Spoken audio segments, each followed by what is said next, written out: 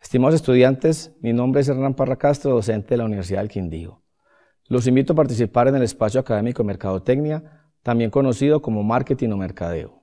Este espacio académico virtual consta de cuatro unidades. En la primera unidad vamos a ver temas referentes a los conceptos básicos, el producto y la segmentación de mercados. Ya más adelante, en la unidad 2, avanzaremos un poco más y veremos la mezcla de la mercadotecnia, también conocido como marketing mix.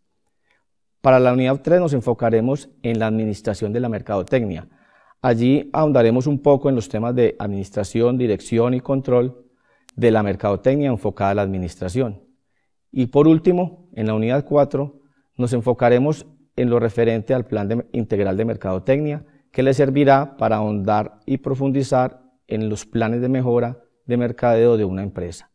Les recuerdo, estimados estudiantes, que este espacio es virtual y requiere de mucha disciplina y, aprendizaje autónomo. Les deseo muchos éxitos.